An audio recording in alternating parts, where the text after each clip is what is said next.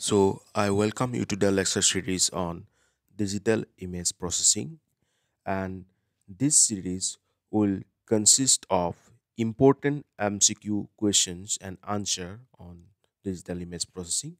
And this questions answering session is especially important for those candidates preparing for UGC NTA NET examination, SET examination, PhD entrance examination, ISRO scientist posts, and different placement interviews and other competitive examinations. Okay, especially uh, questions on digital image processing used to be asked at higher level of competitive examinations. Well, uh, about the theoretical topics that I have already uh, illustrated in my digital image processing lecture series. So, if any topic if you find difficult, you can tell me, and also you can go through the uh, means my previous lectures on those topics so that the basic concept will be clear to you. Well, myself, Dr. Dibya Jyoti Bora. So let's start today's session. Do remember that after each question, I will pause for 10 seconds.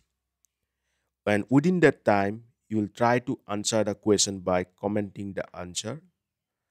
When the session is complete, you find out that what are the correct numbers of what is the correct uh, means uh, number of questions that you have answered means you have answered correctly and tell me what is that.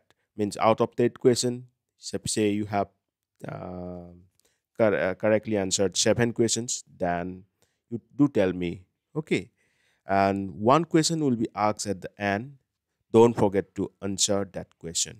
So let's start. First question is the transition between continuous values of the image function and its digital equivalent is called fill in the blank. Option a quantization. Option b sampling. Option c rasterization. Option d none of the mention so guys you have 10 seconds. Time started now.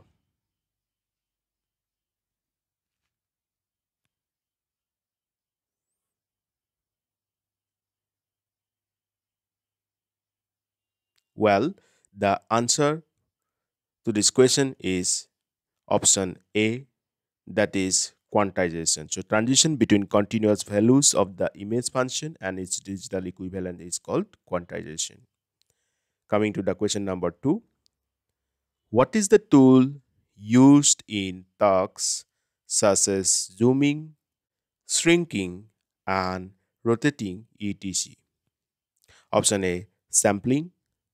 Option b interpolation. Option c filters. And option d none of the mentioned. Time start now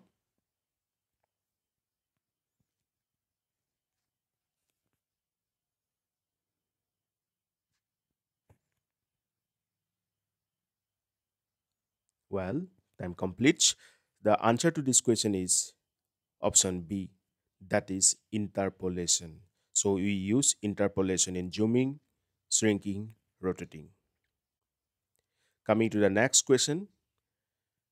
Question number 3 the digitization process that is the digital image has m rows and n columns requires decisions about the values for m n and for the number l of gray levels allowed for each pixel. The value m and n have to be option a m and n have to be positive integer. Option b m and n have to be negative integer. M have to be negative and n have to be positive integer. Then option d m have to be positive and have to be negative integer. So time started.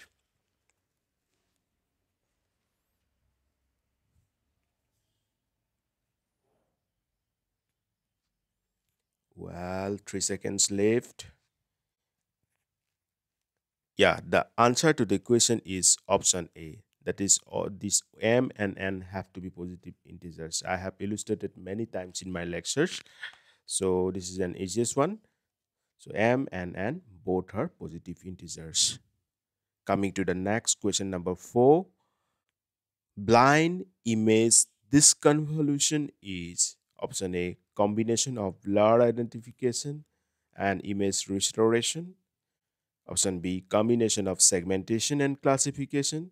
Option C combination of blur and non-blur image. Option D none of the above. Time started.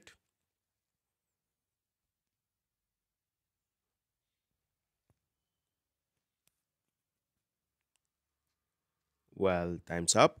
So answer to this question is option A.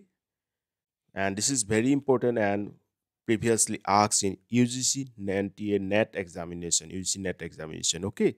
So in image processing, blind deconvolution is a deconvolution technique that permits recovery of the target skin seen from a single or a set of blurred images in the presence of poorly determined or unknown point spread function that is PSF. Guys, I'll try to include some important uh, means uh, facts or explanation regarding the answer so you don't need to worry about okay so I'll try my best to include those explanations so that it will help you to understand the question.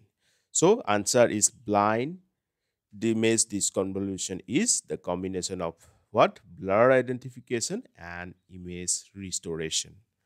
Clear? So coming to the next question question number five. Which of the following is not an image type used in mpeg option a a frame option b b frame option c d frame and option d p frame time started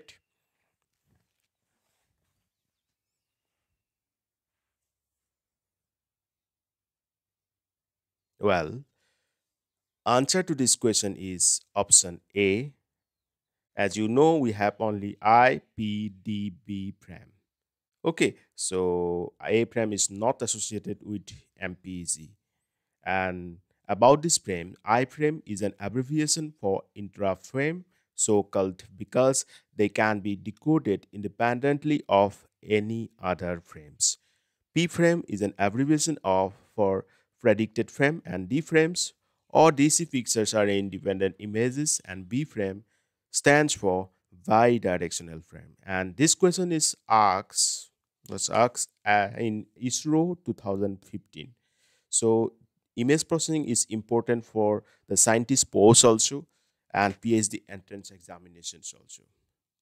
So this subject is very important for you. Okay, answer is option A. Coming to the next question, number six. Which of the following compression algorithm is used to generate a .png file? Option A, LZ78. Option B, deflate. Option C, LZW. Option D, Huffman. Time started.